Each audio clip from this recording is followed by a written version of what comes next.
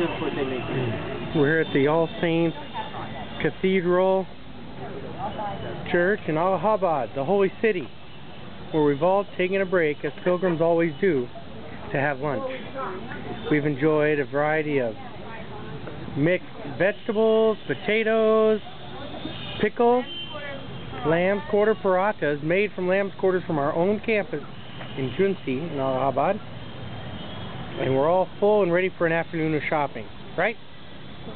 Correct. Right, Evan? Yeah. All right, good. We're guys, of course we're ready Oh for my God, we're ready for an afternoon of shopping. Yeah.